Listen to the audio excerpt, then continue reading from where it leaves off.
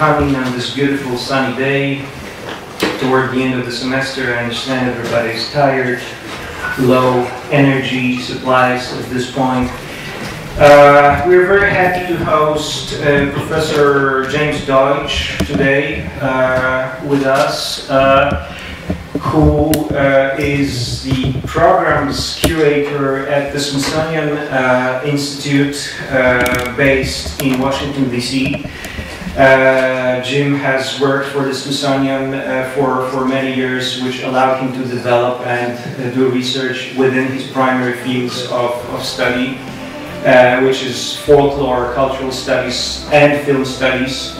He also taught in Łódź before, more or less exactly, exactly 20 years ago, uh, right? And then kept coming back uh, to, to Łódź, so this isn't his first time here, either in Poland or in, in, in Łódź.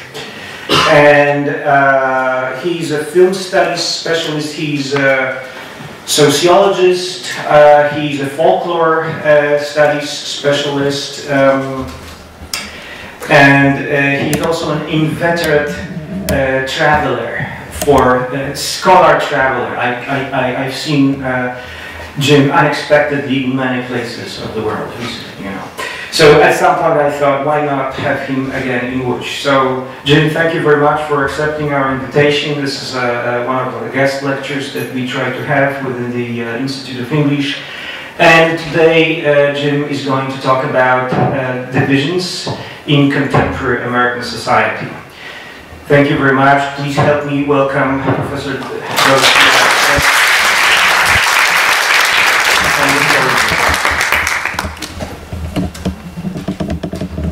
try this on. Yes, so it seems to be working. So thank you, uh, Kacper. I'd like to thank my hosts, uh, Kacper Bartczak, Justyna Fruzińska, who have made my stay here very comfortable. Um, uh, last night, ironically, I stayed at the conference center for the University of Łódź, which is exactly the very first place I stayed when I came to Łódź for the first time in 1996. And my hosts uh, then were uh, and Elżbieta Oleksy uh, for the Department of American Studies and Mass Media. And based on that workshop I did in 1996, I was invited to come back and then taught for the academic year of 1997-98 uh, in a building on Narutowicza, which is the longer part of the University of Łódź. But um, so I'm happy to talk about this topic. Um, and I, I, should say that I, uh, I have a series of slides that I'll talk about each one. Um, we will have time at the end for questions, but, but if you have questions during the lecture, if you have questions about something you see on the screen or something you hear me say, please don't feel you have to wait until the end to ask the question, because my feeling is if, if it's not clear to you, Maybe your colleagues may also not be clear. So it's better to bring it up at that time. So just, you know, raise your hand or start talking and we can address it then and there.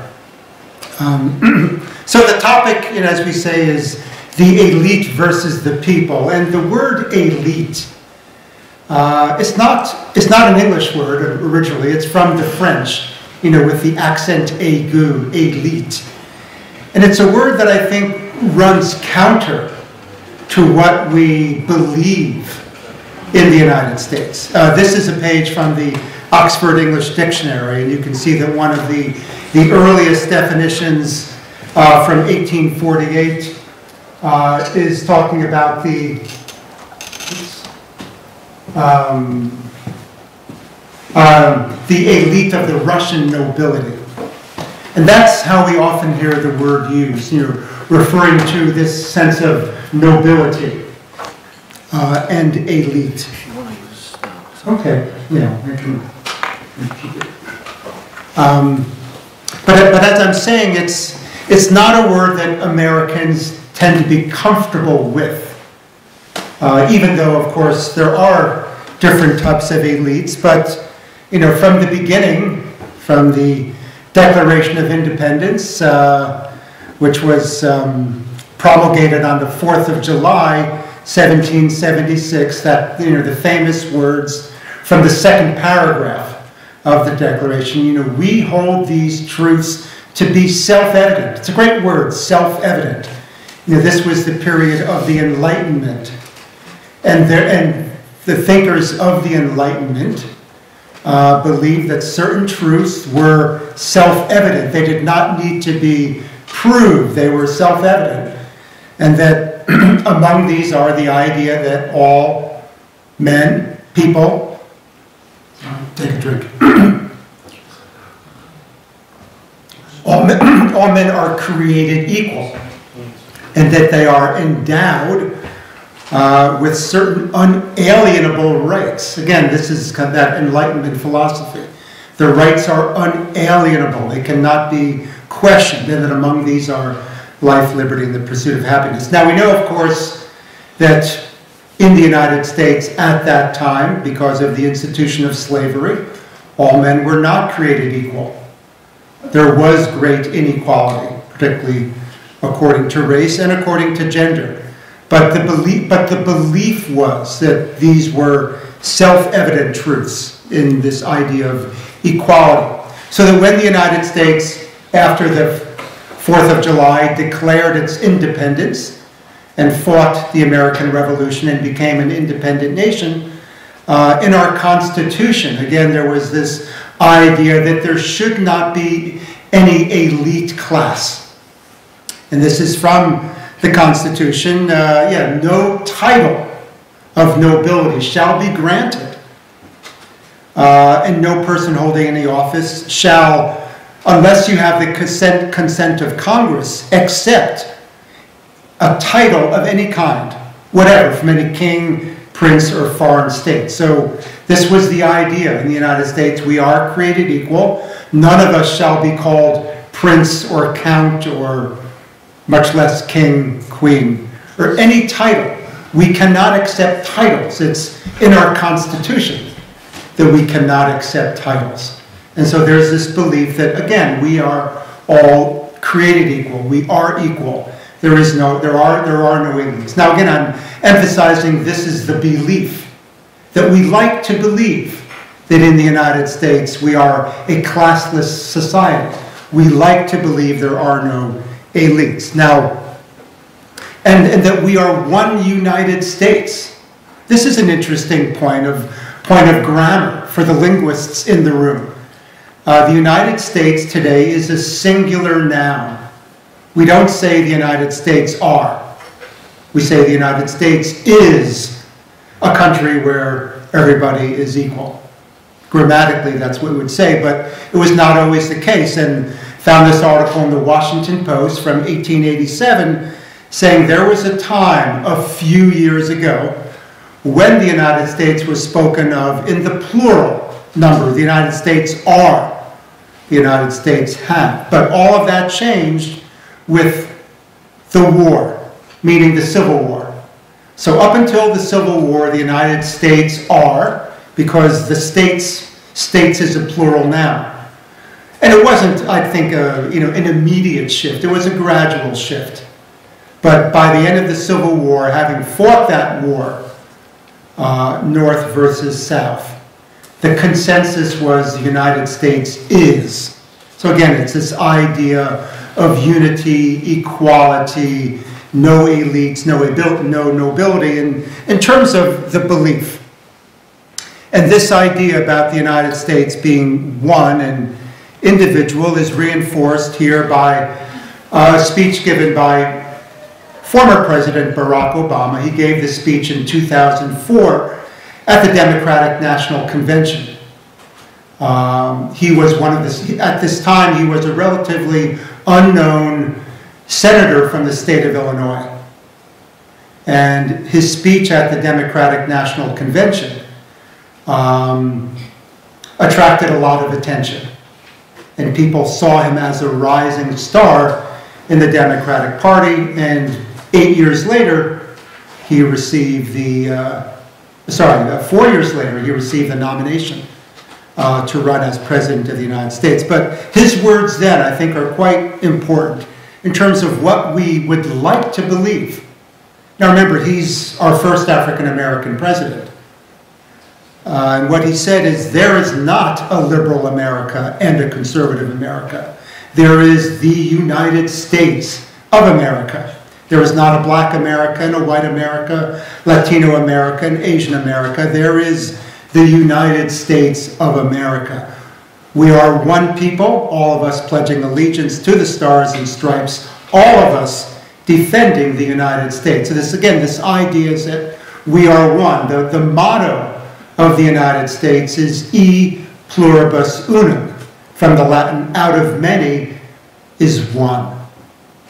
And that's, that's the belief that we like to hold dear, is that we are one. Without these divisions, without classes, without elites and other groups. At least that's the belief that we hold dear. But of course, that's not, it's not the case. And this is an article just happened upon from USA Today, which is a national newspaper, uh, published just a couple of weeks ago, um, talking about Los Angeles and specifically the, the Bel Air neighborhood of Los Angeles. So the title is, you know, where the mega rich and the dirt poor collide. So talking about extreme, great extremes of wealth uh, in Los Angeles and by extension throughout the rest of the rest of the country. That in this particular neighborhood you have these incredibly large mansions. The one on the top is is called the One. I think I have information. Yeah. So this is the mansion. It's it's in the process of being built. Uh, it's very close to completion, but 20 bedrooms, seven swimming pools, parking for 30 vehicles, 9,700 square meters. I mean, who's going to live there? Well, who's going to pay $500 million to live in this one house in the Bel Air neighborhood? As we say, as I said, it's, uh, it's about to be finished. No one has bought it yet, but I suspect somebody will buy it. And uh, which, which brings me back to a little bit of kind of historical perspective. Uh, in the late 19th century, so from roughly the 1870s to the first decade of the 20th century, was what was known as the Gilded Age. The term comes from the author Mark Twain, who used the word gilded because it looked like gold on the surface, but beneath the surface there was no gold, there was corruption. And if you look at kind of the the idea, the kind of the stories about the Gilded Age, it's it's like this cartoon and the ones I'll show you. Is there are these enormous, you know, fat, bloated capitalists, and uh, the the words on them, you know, say about the the steel trust, the copper trust, the railroad trust. There were these trusts and monopolies that were operated by people like John D. Rockefeller, who was head of Standard Oil, uh, Andrew Carnegie, who was a steelmaker, uh, Jay Gould, Jay Fisk, who were running railroads. These were the, these were the elite. They were the financial elite. They were controlling the railroads, the steel, the oil industry, um, and they were corrupt. Uh, and in this, in this particular cartoon, the, the subtitle is um, The Bosses of the Senate. So this is the United States Senate, but behind them are standing the bosses who are controlling uh, the legislature. And you'll see this again and again in different cartoons. I mean, here's another one from the same period, and here the, the, the motto is that uh, history repeats itself the robber barons of the Middle Ages, which is the one on the top part of the screen, and the robber barons of today. And again, it's the same image of, you know, these fat, wealthy capitalists wearing the, you know, the silk hats. Uh, and bowing before them are the people who are not members of this wealthy elite. Uh, and the first person we see is holding a sword, a sword that says legislation. and they're, they're offering tribute to the members of the Gilded Age, the, the wealthy elite. Behind them, you see the, you know, the factory spewing smoke. So, in spite of the promises of the Declaration of Independence, in spite of the idea that all of us are created equal, there was extreme inequality, great disparity of wealth in this first Gilded Age in the late 19th century. And then opposed to the, to the, uh, the leaders of the trust, the word that was also used to describe them was plutocrat, uh, a plutocracy. Plutocracy is government of the wealthy or by the wealthy. They were known as plutocracy, and they were plutocrats. And in this, you know, labor versus greed, a warning to plutocracy. But the people who were primarily opposed to the plutocrats were at the time known as populists.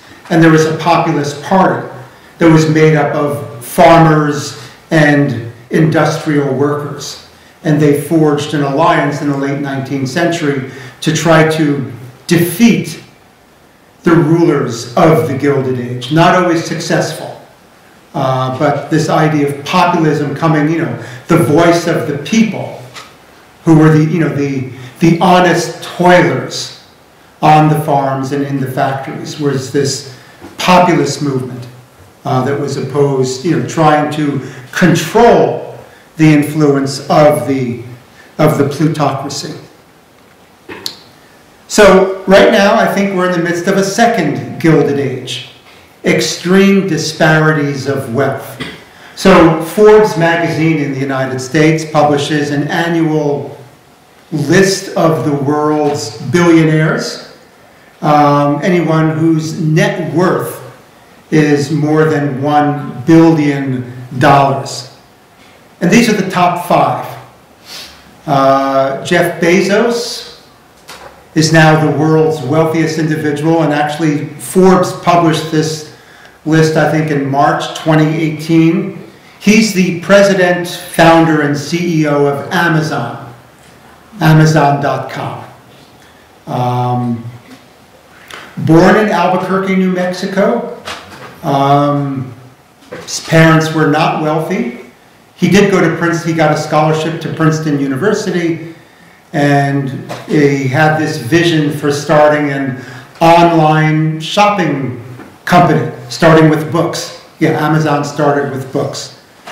He's the primary owner of Amazon stock, so his net worth today, and uh, yeah, so this came out in March.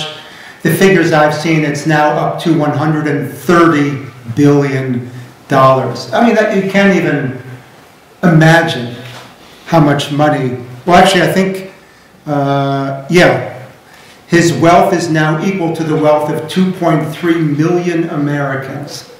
I mean, how do you even comprehend that? I can't. 2.3 million Americans is the value of Jeff Bezos, who also recently bought the Washington Post newspaper. And has, uh, I have to say, I, I live in Washington, D.C., and Bezos has been you know, throwing a lot of money at the Washington Post to increase the number of reporters, to increase their coverage around the world. I have to say the Washington Post has become a much better newspaper thanks to Jeff Bezos and his 100 and whatever something billion dollars. Second, and formerly number one, is Bill Gates, founder of Microsoft. Um, Bill Gates uh, came from a you know, middle class, maybe upper middle class family. He did, he did attend Harvard University, but he dropped out of Harvard after, I think, his freshman year to work on Microsoft. And through a series of, you know, strategic uh, initiatives, uh, he found a way to make, to make the Microsoft operating system the default operating system in all the new computers that were being built, and the rest is history, as we say. Microsoft became the leading software company. Number three, Warren Buffett from Omaha, Nebraska, has always lived in Omaha. Um, and he runs an investment company called Berkshire Hathaway. that has been very successful. And you know, you, you invest your money in Berkshire Hathaway and your value increases for the most part. Uh, number four on the list is the one person who is not from the United States, uh, Bernard Arnault. Uh, runs a company, a company of luxury goods called LVMH, which stands for Louis Vuitton Moet Hennessy, uh, based in Paris. Number five, Mark Zuckerberg. I think you all know who Mark Zuckerberg is, the founder and CEO of Facebook. Uh, again, came from maybe middle class, upper middle class family in Westchester County. Like Bill Gates, he also went to Harvard. Like Bill Gates, he also dropped out of Harvard in order to work on his company. Moved to California and uh, has become very, very successful.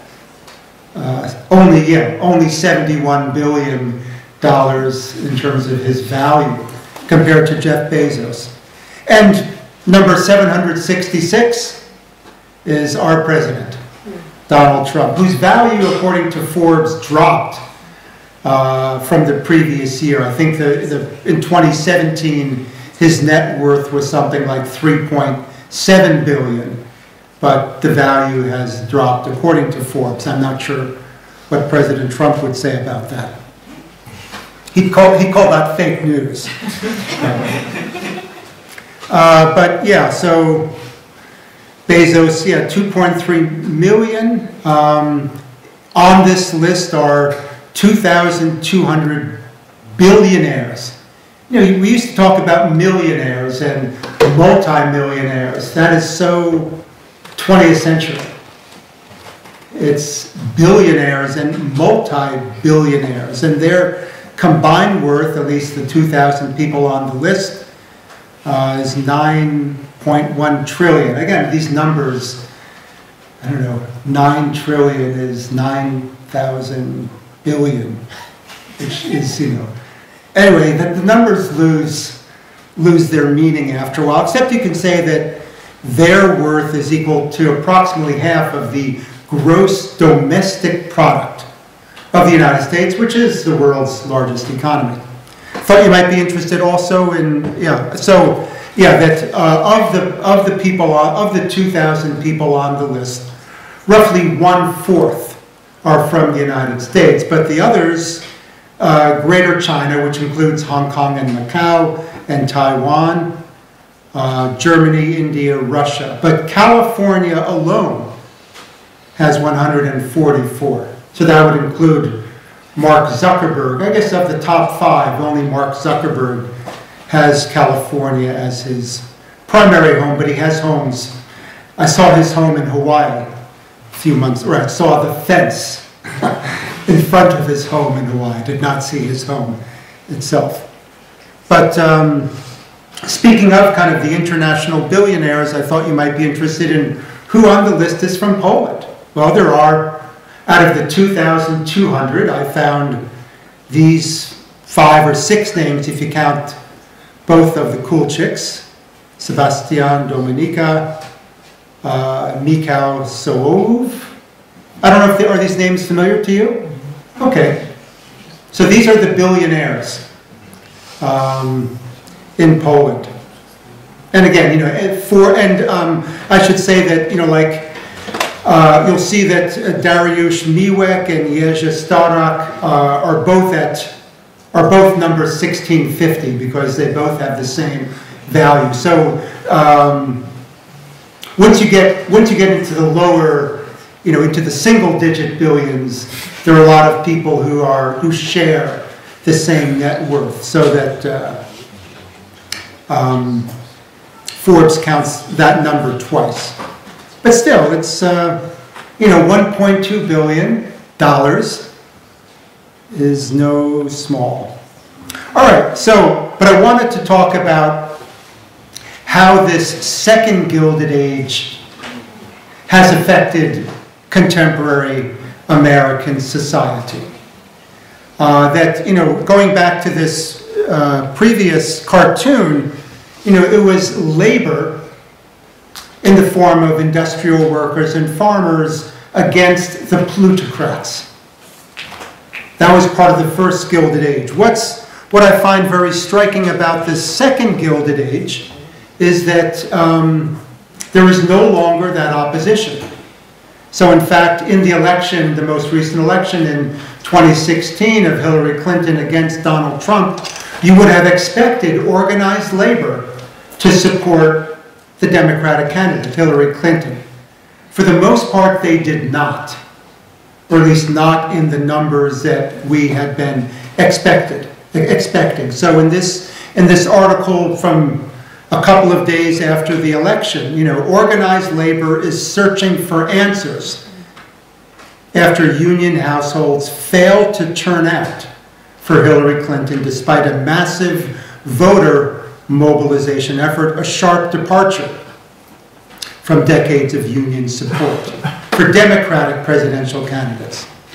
So I'd like to kind of look more closely at that and ask the question, you know, why did the unions not support the Democrats in ways that they in ways that they had. Now it does say if you read that second paragraph, you know, Clinton outperformed Trump among union households by just 8%. So a very, I mean, Democrats did better, but not in the ways that had been expected. Um, and, you know, by comparison, Barack Obama won union households by 18% just four years earlier. These are, you know, people at a Trump rally. Uh, kind of the hard hat is a symbol of industrial worker.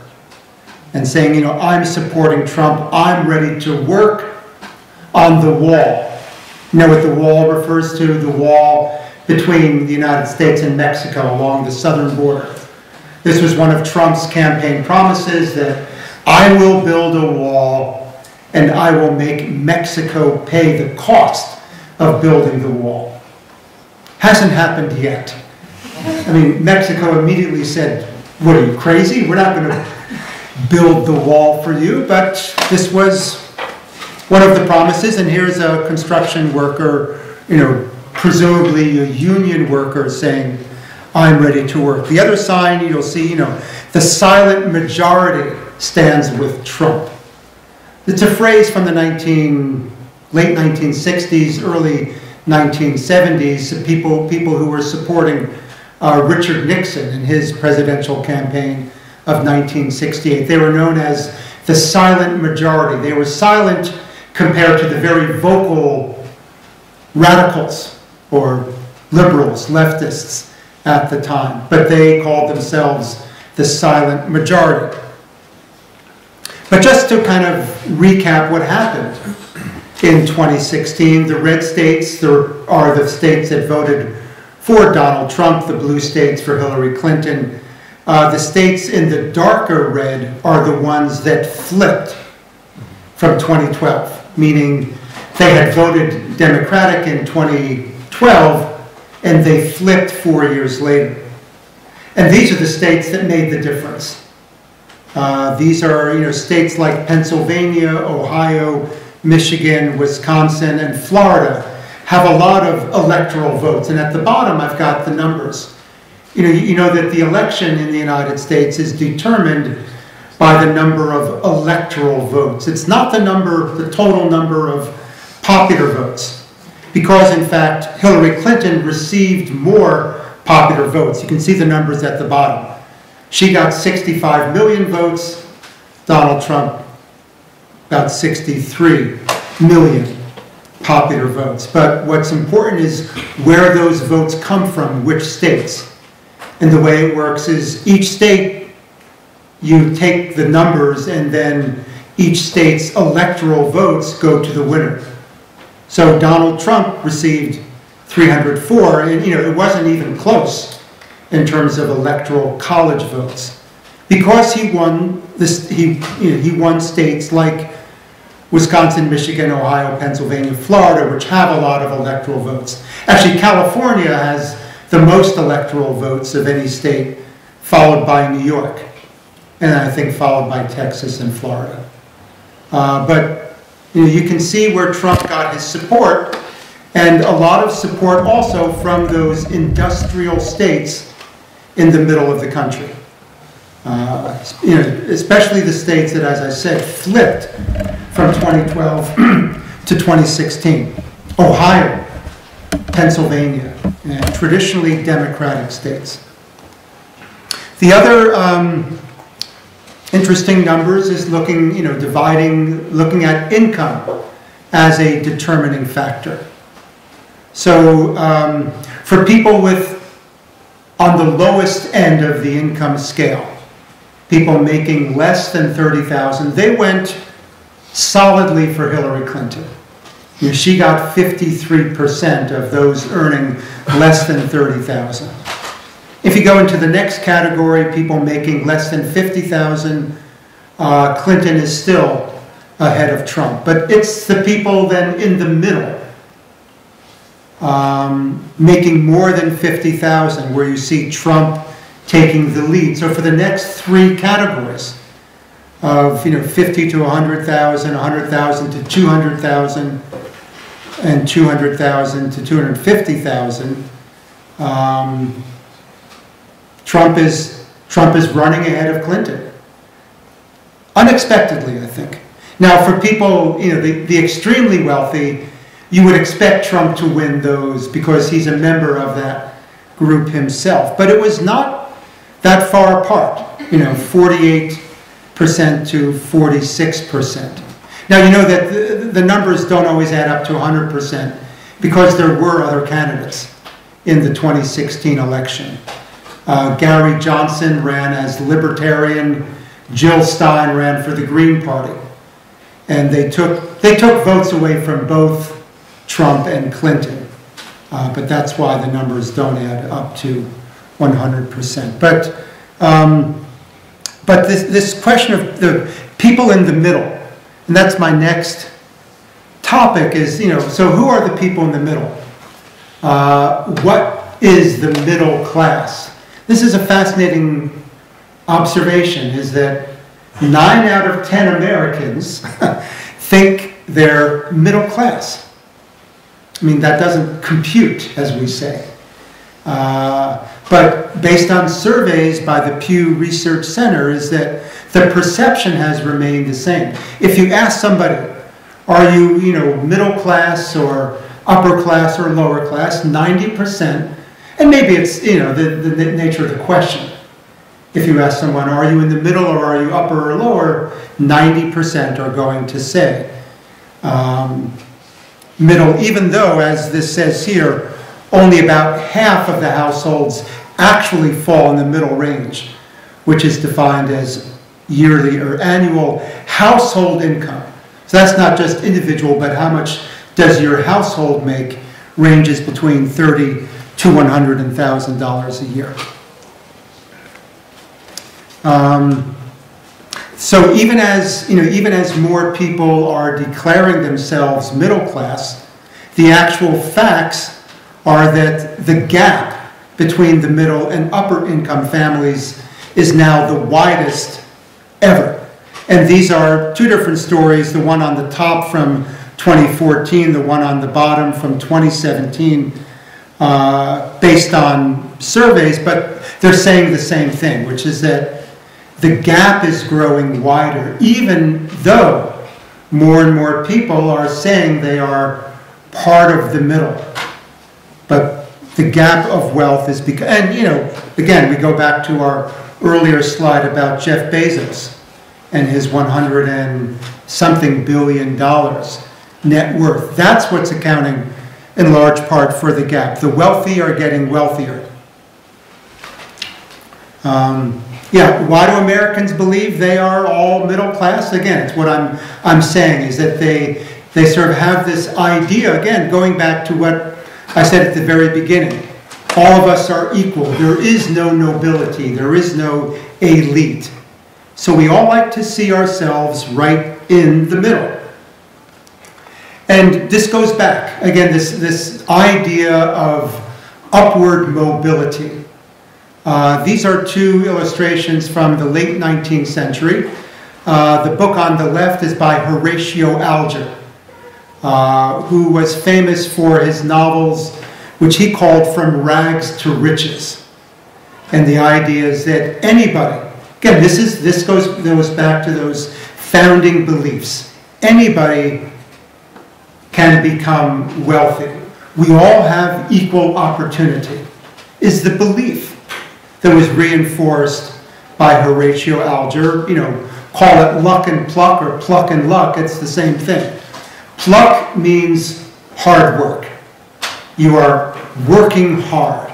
And the idea is that if you work hard, all you need is just a little bit of luck in order to reach the net, in order to climb the ladder of success.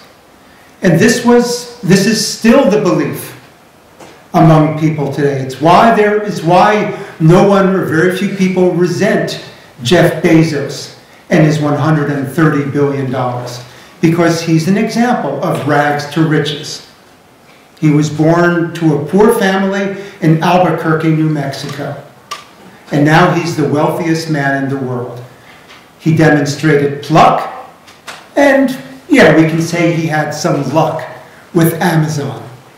It became a very successful company. Mark Zuckerberg, pluck, you know, he had this idea for Facebook. And then maybe a little bit of luck in order to make him worth, what is it, $71 billion. Uh, but, you know, th um, this is what we often call the American dream, is you can rise from rags to riches. You know, in a typical Horatio Alger story, you had a young man, hardworking, conscientious, working in the factory, earning, you know, pennies a day. Not even a dollar a day. Um, but he's honest, he's hardworking, and one day, while walking the street, he sees a runaway carriage containing a young woman in the carriage. The horse, you know, for some reason, uh, the driver has lost controls of the rein. The carriage is running at top speed, at great danger to the young woman in the carriage. Our, our hero somehow stops the wagon, brings it to a halt, and learns that inside the wagon is the factory owner's daughter. That's the luck. He's got pluck, he's got luck, he saves the factory owner's daughter, the factory owner gives him a reward, he falls in love with the factory owner's daughter, they marry, and he becomes a wealthy industrialist himself. These were extremely popular novels and magazines filled with stories like this, which gave hope to the people like our poor bootblack. Um, that they too could rise to become members of the wealthy class. And this is, you know, you'll, you'll see this throughout American culture in lots of movies. This is one of my favorite movies uh, from the 1930s, starring Clark Gable and Claudette Colbert. It happened one night. It swept the Academy Awards. It won the Academy Awards for Best Picture, Best Director, who was Frank Capra, Best Actor, Clark Gable, Best Actress, Claudette Colbert, and Best Screenplay. And um, she's wealthy. She's an heiress. Uh, she wants to marry another rich man whose name is King Bagley. I mean, his, his name, King Bagley, suggests he's part of this upper crust elite. She wants to marry him, but her father forbids her from marrying him because he thinks the guy is worthless. She runs away, and uh, she meets Clark Gable, who's a reporter who recognizes her as the heiress who has run away.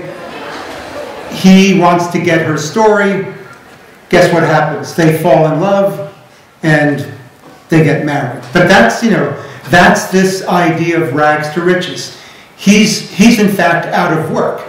It's during the 1930s depression, but with a little, you know, with his pluck and his luck, he will marry the wealthy heiress. But it's this idea of, the, you know, always the idea is aspiration, aspiring to something greater. And I saw this recently in my favorite film from 2017 called The Florida Project, uh, filmed on location outside of Walt Disney World in Florida, filmed largely at this particular hotel, which in the film is called um, the Magic Castle. I mean, even the name suggests, you know, something to aspire to. It's about young young kids. Uh, on the right is Moonee, on the left is Jancey. They're about five or six years old on summer break. How many of you have seen the Florida Project? Has it shown? All right, well, just a few, but I highly recommend it. Um, it's beautifully shot, know, colors like this. Uh, it's the second film by Sean Baker. His first film, Tangerine, was filmed in Los Angeles about transgender people trying to eke out a living in West Hollywood. He shot it on an iPhone. People have seen Tangerine? No? You, all right, but um, the Florida Project, it's, it's about aspiration, uh, aspiring to be something better, and the hope. You know, I think Americans tend to be optimistic. We look at a rainbow and we think, gosh, there's got to be a pot of gold at the end of the rainbow. And I'm going to find that pot of gold. Uh, the people we see in the Florida Project are dirt poor. This hotel, the Magic Castle, is actually a welfare hotel where people are sent, you know, where they can live inexpensively that is subsidized by the state of Florida. Um, and it looks like their, their chances of success are very, very low or dim, but they have this hope that they too will succeed with a little bit of pluck, or you know, with pluck and just a little bit of luck, they will rise to the top. So, speaking of rising to the top in sense of aspiration, um, you know, here's our president, who was famous as a, as a real estate mogul. Uh, he came from a wealthy family. His father was also involved in real estate, Frederick Trump. But in Donald Trump's idea of the world, he is one who, you know, climbed the ladder of success. Uh, because his father was pretty much based in New York City, owned a number of properties throughout the five boroughs of New York. But it is Donald Trump who developed the idea for these soaring Trump towers uh, the one in the upper left is Las Vegas, New York City in the center, Chicago upper right, and then new developments in Brazil and India. Uh, but you know, it visually it represents this sense of aspiration, reaching out, you know, reaching, reaching for something golden into the sky, um, which has become a very successful uh, idea. And Donald Trump, um, you know, going back to our Gilded Age and the second Gilded Age, I talked about kind of the tension between the plutocrats and the populists, and the you know the complete divide between the plutocrats and the populists. Donald Trump has found has found a way to be both. He is a plutocrat. He's you know, valued at 3.1 billion, but he also styles himself as a populist. And this, for me, is what is unprecedented in American politics, that we have populists coming out of the plutocracy. And we'll talk a little bit about how Trump has done this. Part of it is this idea of, you know, his slogan, make America great again. So, you know, going past to, going back to this golden age when America was great. Uh, he's, it's unclear, you know, what this time was when America was great, whether it was the 18th century, 19th century, 20th century, but, you know, make America strong again. Make America great again. I'm not sure when America stop being strong, but, but this is part of Trump's rhetoric, is this, you know, finding this moment in the past, reaching out and bringing that back. And that is a very appealing message. That is the populist message that Trump represents. Uh, yeah, so this is, I just wanted to compare the rhetoric of our two most recent American presidents. Here's Barack Obama. You know, it's, there are complete sentences, there's a logical flow to what he's saying. There are, there's kind of parallel construction. You know, much like all the great orators. You know, think of Martin Luther King Jr., I have a dream. I have a dream, I have a dream. Repeating the phrase as, you know, it's a rhetorical style, which Obama uses here. And then we can compare the rhetorical style of Donald Trump. This, this, is, um, this is an actual quotation. It was, it was even, uh, I don't know if you know the site, Snopes.com. Snopes.com investigates rumors or legends and decides whether they are true or not. And this was one of the issues that Snopes.com investigated. Did Donald Trump really say this? And the answer is yes, it's true. He said this on the 19th of July 2016. Actually, it goes on for five slides. Um, where he's constantly, you know, there's no smooth flow of ideas. He's speaking in short sound bites. It's why Twitter for him is his preferred medium. You know, 140 characters is just about the right length. I guess they've increased the size now, but 140 characters. So he says, and, and he was asked a question about um, nuclear proliferation in Iran. That was the question. so look, having nuclear. My uncle was a great professor and scientist and engineer, Dr. John Trump at MIT, Massachusetts Institute of Technology. Good genes, very good genes. Okay, very smart. Wharton School of Finance, very good, very smart. Um, there's no way to describe this, really. It's, it's complete uh, stream of consciousness. Um, and in talking about the genes, you know, he's Donald, you know, one thing that is consistent about President Trump, he is completely absorbed with himself. You know, narcissistic is not a strong enough word, but let's continue. So, very good, very smart. You know, if you're a conservative Republican, if I were a liberal, if like, okay, if I ran as a liberal Democrat, they would say I'm one of the smartest people anywhere in the world. It's true. When you're a conservative Republican, they try, oh, do they do a number? If you're a conservative Republican, you do. What's happened to the nuclear? Well, that's, you know, that's, we've gotten off track a little bit. That's why I always start off, went to Wharton, was a good student, went there, went there, did this, built a fortune. You know, I have to give my like credentials all the time because we're a little disadvantaged. We look at the nuclear deal, the thing that really, okay, thing that really bothers me. We're back to the nuclear deal. Um, it would have been so easy, and it's not as important as these lives are. Nuclear is powerful. My uncle explained to me many years ago. the power, that was 35 years ago. He would explain the power of what's going to happen, and he was right. Who would have thought? When you look at what's going on with the four prisoners now, it used to be three, now it's four, but when it was three and even now, I would have said it's all in the messenger. He means the message, fellas, and it is fellas, because you know they don't. They haven't figured out the women are smarter right now than the men. But the Persians are great negotiators.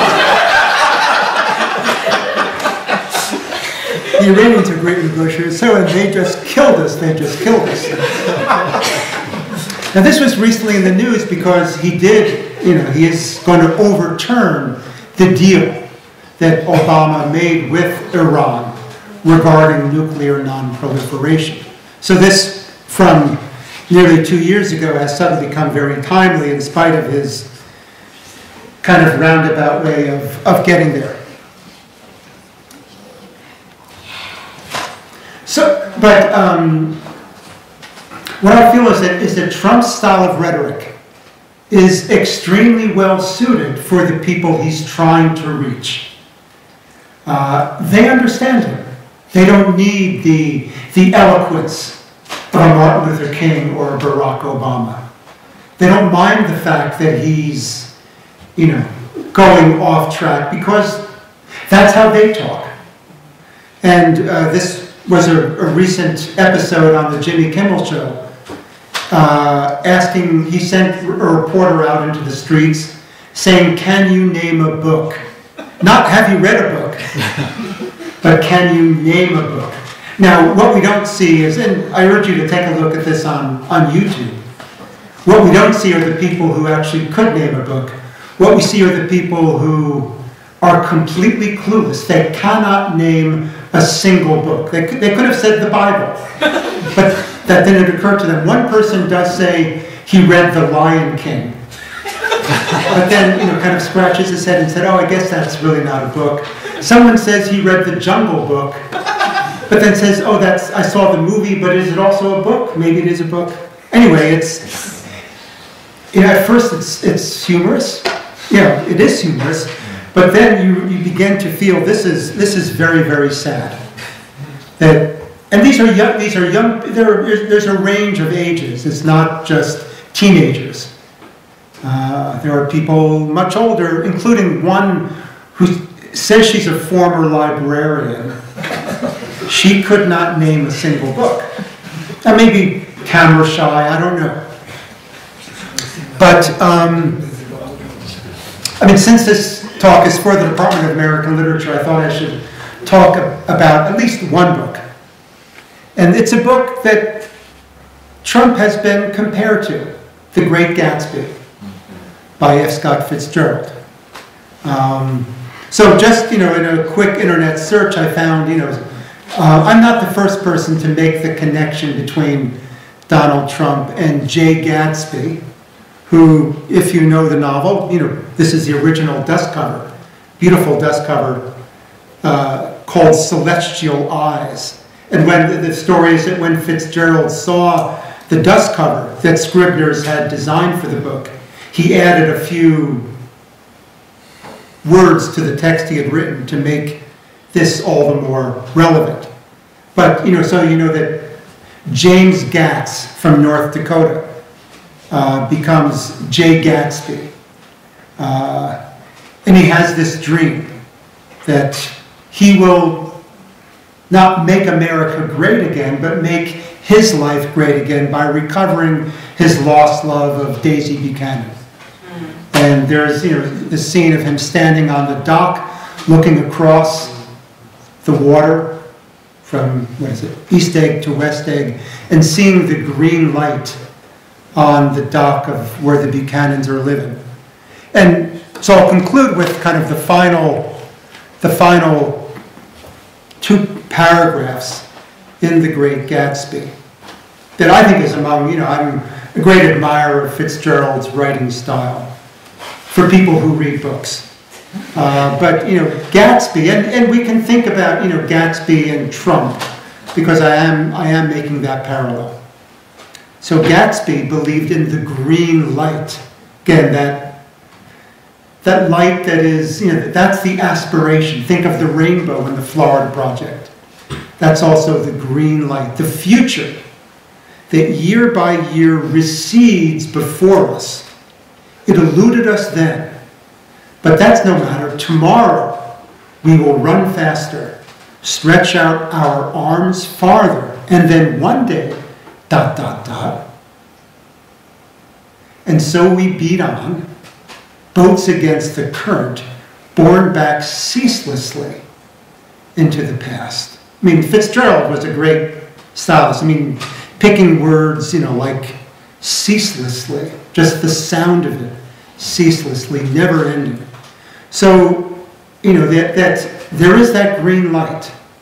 It's that it's a green light that also appeals to Donald Trump, uh, who, like Jay Gatsby, feels that he's not necessarily good enough. He has to keep trying. He has to keep running faster, keep stretching out his arms farther, and then one day like the Horatio Alger characters, with some pluck and like in one day. And so we beat on. That's why we keep trying. It's why, it's why people voted for Donald Trump, I believe. This belief that, you know, prosperity is just ahead. And if they run faster, reach farther, they too will achieve that American dream. Thank you very much.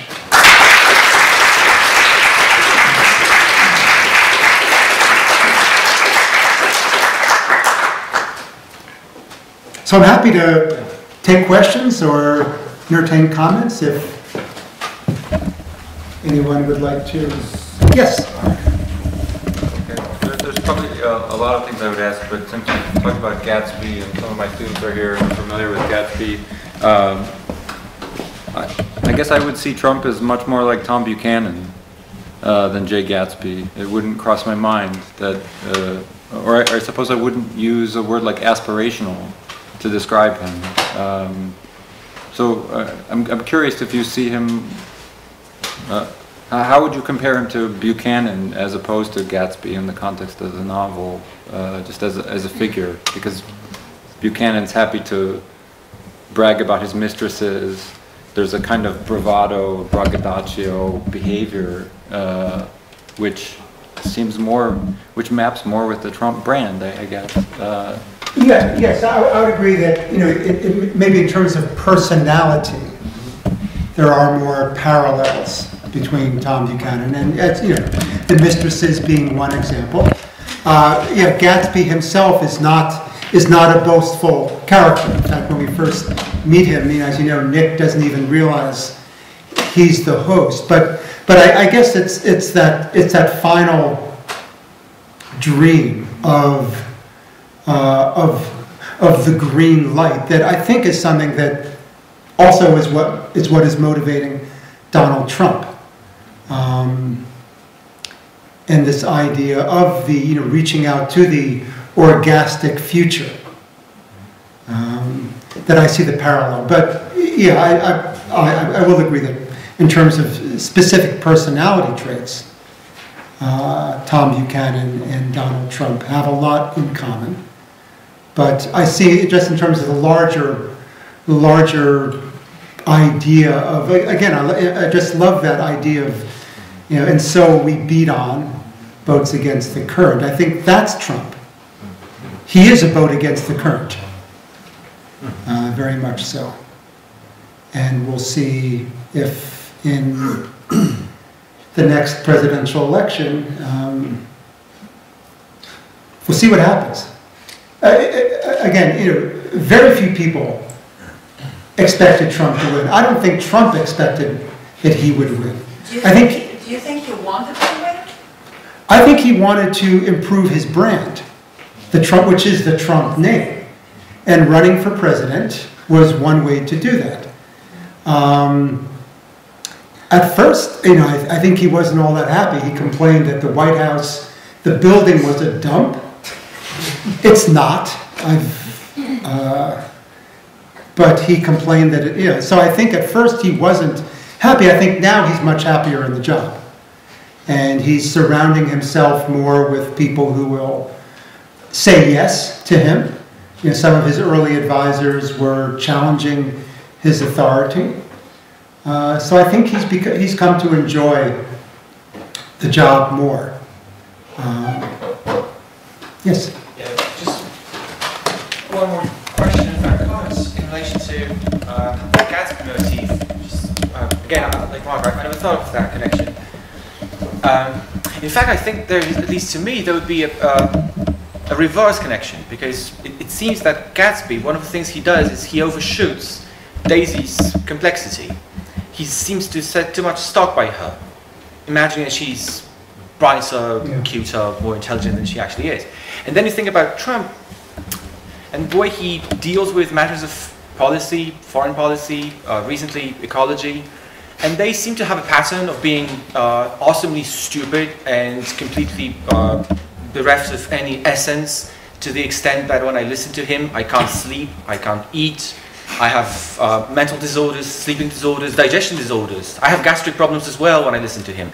And it seems that the reverse proportion is that where Trump, I'm, I'm just asking if this resonates with you, Trump seems to be uh, making complex things super simple to the extent that they are moronically simple, whilst Gatsby makes things quite simple, super convoluted, and sets a little bit of mystique by them. Would, would you say there is a point to that?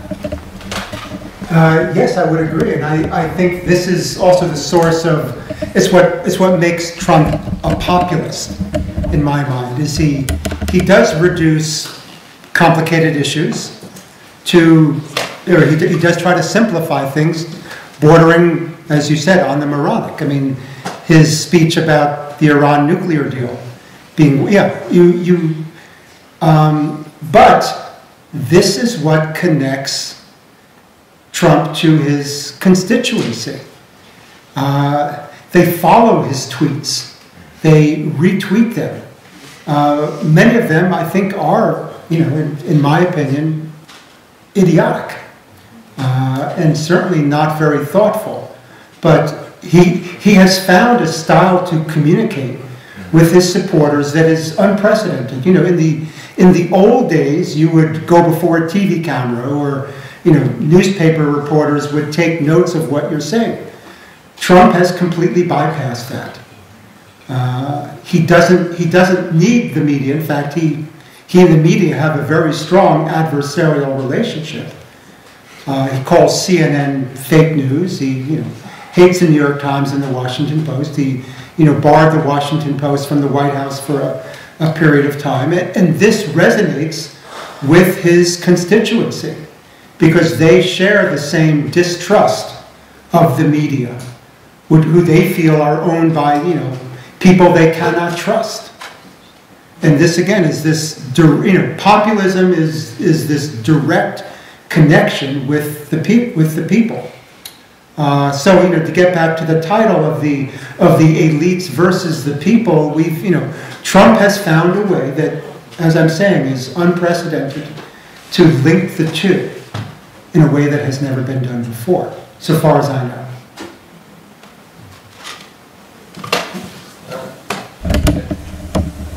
One thing that I, I thought about in the your talk, when, when you were talking about the, the elites, um, is this, uh, and, and American populism, uh, and, and uh, the president's tweets, is this kind of uh, aggressive uh, dislike of intellectualism and sort of intellectual history within the context of, of America, right? So, um, I mean, there was a New Yorker article a couple of days ago about the fact that Trump sort of has a team of people contemplating where to misplace a comma in the tweet uh, or a surprising capitalization, uh, and that this kind of reflects uh, authenticity, right? That there's a careful construction of, of, of authenticity.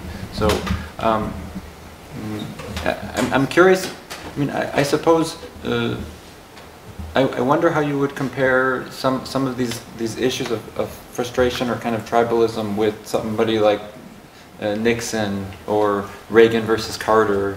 Is it, is it so wildly different with Trump uh, right now compared to some of these past presidents? Um, or is it just the technology? I would, I would say it's a combination of, of the two. And, you know, Trump often harkens back to Ronald Reagan, who was elected in 1980, defeating Jimmy Carter that year. Um, and part of Reagan's, um, one of Reagan's slogans was Make America Great. And so Trump is very much harkening back to, to Reagan. Uh, but I don't think either Reagan or Nixon had quite the anti-intellectual tone that Trump has. And I think that's a reflection of what we saw in Jimmy Kimmel. People don't read books. They can't even name a book. You know, it's not that they just don't read, they can't even name a book, and that's the people Trump is appealing to. So yeah, I think I I hadn't seen this referring about you know the capitalization or the comma, uh, but Trump's speech is um, authentically real for, for his constituency because that's the way they talk also. They don't feel the need to talk, much less write in complete sentences.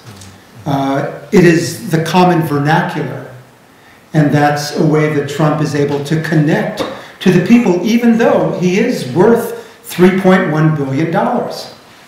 But his constituents do not resent that. I think for two reasons. One is that they aspire to the same level of wealth, or maybe not the same level, but they aspire to reaching great wealth. And uh, um, they don't see him as a plutocrat. They see him as a populist because he wears, you know, he wears baseball caps. Uh, he talks the way they do.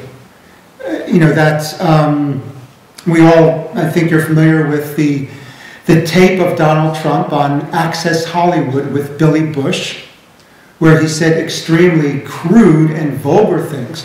When I, when the Washington Post broke the story, I thought, it's over, it's over. You know, who's going to vote for Donald Trump now? And it turned out, it didn't make a difference because people saw what he was saying in the most, you know, what he labeled locker room talk, most extremely crude and vulgar. They saw that as somewhat endearing. He's just like us. He's no better than us. He doesn't pretend to be better than us. And they're saying, we like that. You? Yeah. Uh, So I wanted to ask you, what do you think about the argument that had Bernie Sanders been the Democratic candidate instead of Clinton, that he would have done better than Clinton? Because he was equally anti-establishment as Trump. In other words, there were some, yes, commentators right after the election who thought that maybe Clinton lost because she is identified as elite and that perhaps Sanders had better chances. Do you agree with that? Uh, Yes, I do, I do agree with that. I, I think that uh, Bernie Sanders would have done better than Hillary Clinton. And I think for, you know, uh, for a number of reasons, which you've, which you've explained. You know, Clinton was identified with uh, the status quo, more of the same, and I, people were looking for change in the election of 2016. Or a lot of people were looking for change, and Clinton represented everything but. Also, uh, Clinton is just, or Hillary Clinton is not a good politician. She doesn't have that gift of connecting with people. Um, her husband is just the opposite. Her husband has an amazing gift of connecting. I've never met either of the Clintons, but I, I have talked with people who have, and they've told me that when you meet Bill Clinton, he has this gift for making you think that you are the most important person in his life at that very moment. He can do that. Um, Hillary Clinton cannot. And she seems very stiff. She seems inauthentic. There was the one uh, time she was captured on camera referring to Trump supporters as deplorables. Deplorable is not is not a nice thing to say about anyone. And that reinforced this distance that people felt. You know, there's often this uh, index, I don't know if it has a name, but it's uh, which candidate would you rather sit down and drink a beer with? I I think I first heard it in the election of 2000, George W. Bush and Al Gore. Which, you know, Gore was by far more qualified. He'd been vice president under Clinton. Um, but people felt he was artificial. You know, he spoke French very well. He came, you know, he came came from a uh, well, actually both came from political families. Um, but somehow Bush was able to portray, George W. Bush was able to portray himself as the kind of guy you'd rather have a beer with.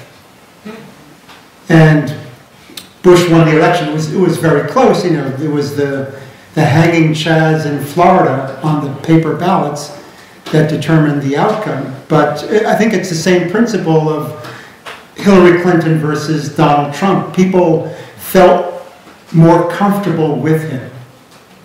They would rather have a beer with him. If it came down to Sanders versus Trump, I think it would have been much closer. And certainly the states of Michigan, Ohio, Pennsylvania, I think would have gone to Sanders. He was very popular in those states. Clinton did not campaign much in those states. And I think they proved to be the balance in the electoral college votes.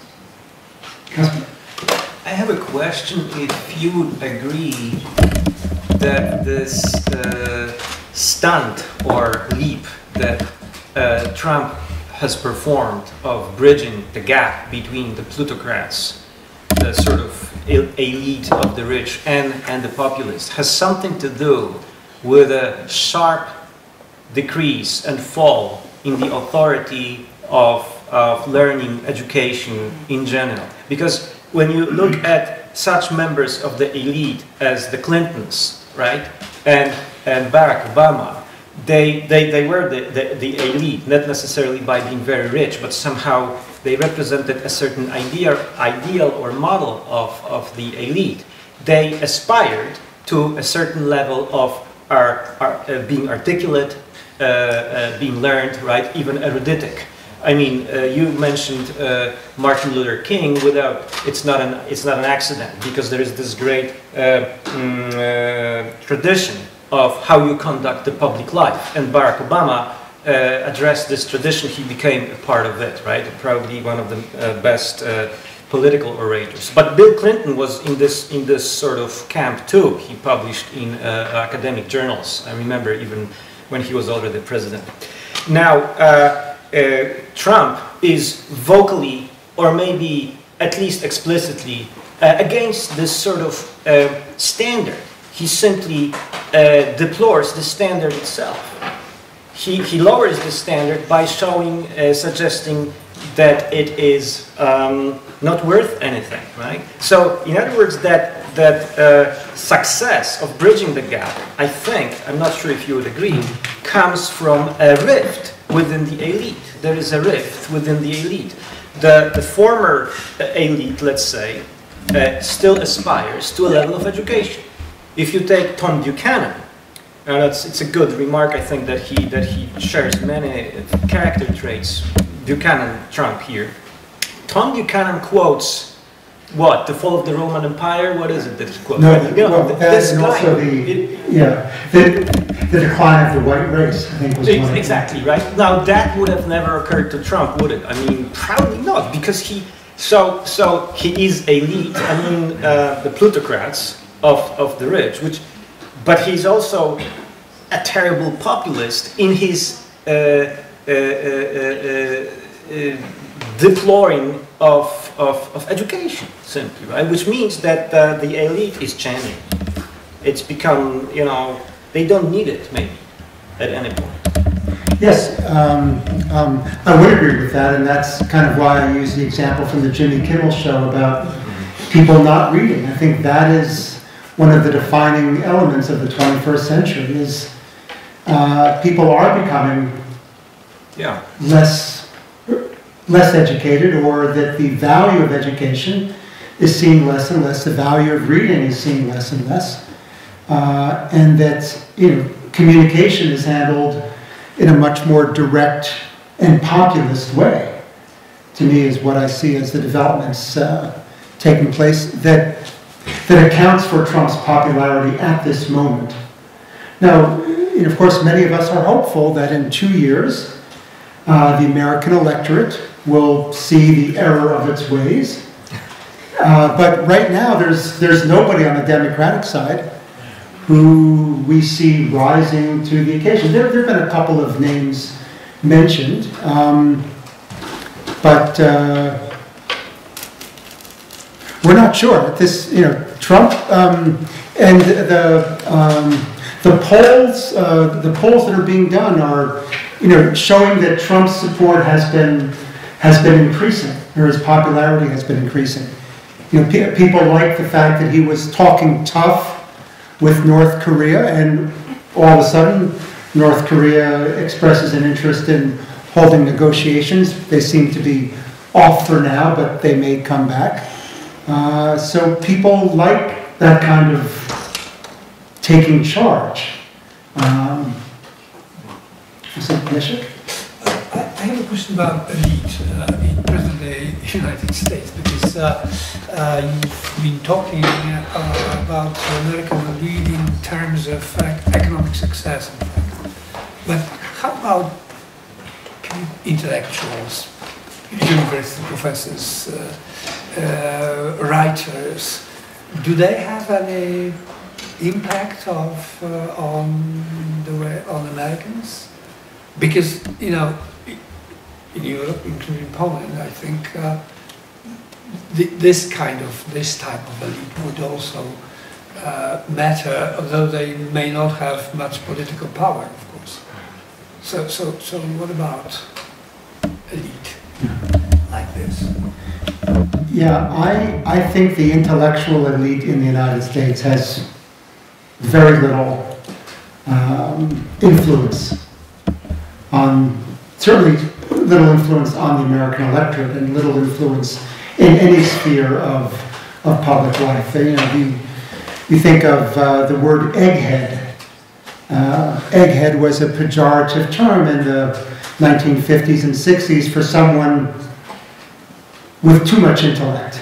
You know, their heads were large, which made them eggheads. So Adlai Stevenson running against Dwight Eisenhower in the 1950s, Stevenson lost because he was seen as too much of an intellectual. And I would say the same happened in the uh, in this century with the elections of um, George W. Bush running against Al Gore in 2000 and running against John Kerry in 2004. Uh, Bush was anything but an intellectual.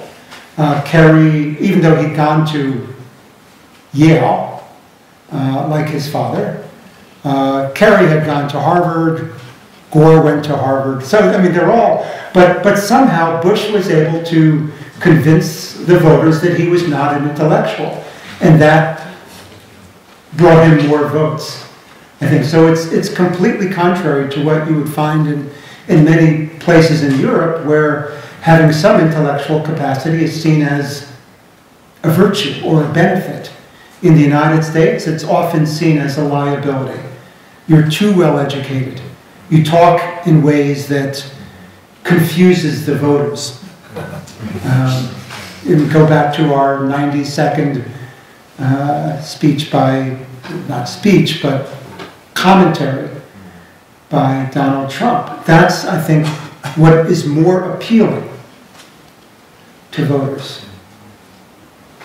And you, you had a question before. Well, I was just going to ask, you know, where, where should we look for reasons for the changes that have taken place in the American society? Because, uh, uh, well, there is this anti-intellectual uh, trend uh, in, there has always been one in, in, uh, in America, in the, in the United States. But there was also a time when high school education was valued, right? And uh, um, average people did read books. Where should we, you know, what, what happened? Why, why is anti-intellectualism, uh, uh, you know, um, prevailing at the moment? Yeah, that's a great question, and I, I don't have a, I don't have a, a good answer. Um, except to say that I think, you know, as you suggested, there's always been a, a strain of anti-intellectualism in the United States, and I would say that it, you know, it ebbs and wanes, or increases and decreases from time to time, and we're at a moment now where it's it's less and less valued, uh, and I'm I'm honestly not sure that I can explain it. You know, people often talk to kind of the the medium, kind of the media of communications, and uh, uh, the internet is where most people get their news today. They don't read newspapers; they look at their news feed on Facebook uh, or Instagram, or um, you know, that's where people are being educated, or they're looking at you know popular videos on YouTube. Uh, none of which are what I would call great intellectual platforms. Um, but it's, it's, it's often you know, too easy to just blame the media because in my, one of my favorite media philosophers, Marshall McLuhan, I taught a course on mass media with Professor in Professor Oleksy's department. You know, his, his statement was the medium is the message.